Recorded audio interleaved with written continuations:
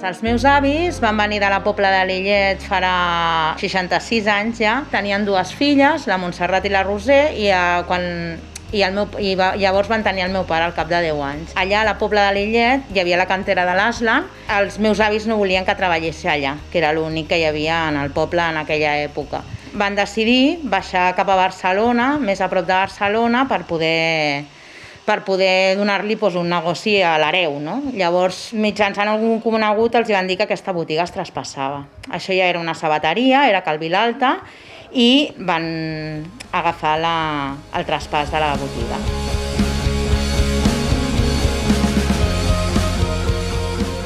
A mi sempre el tema de la moda sempre m'ha agradat. Jo sóc fisioterapeuta de professió i vaig estudiar la carrera i sempre havia dit que quan els meus pares es jubilessin, perquè a mi des de ben petita sempre m'ha agradat molt estar aquí, quan el meu pare es jubilés, que tenia, tenia jo ja 42 anys i el, el tema de la fisioteràpia ja estàs més cascat i això, pues, des, vaig, vaig pensar que sempre vindria. I llavors doncs, no hi havia ningú que portés la botiga i me la vaig quedar jo.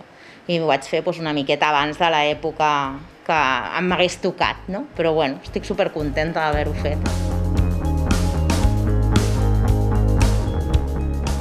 A Calçats del Mangol sempre ens hem dedicat a la sabateria. O sigui, el nostre, el nostre volum important és la sabateria en tant a home o a dona. L'únic que passa és que fa 10 anys la meva tieta Roser es va jubilar, tenia una botiga de bolsos aquí al mateix carrer i complements i em vaig quedar doncs, part dels bolsos i els complements. Ara venc una miqueta de complements en general i, i la sabateria segueix sent el fort de la, de la botiga.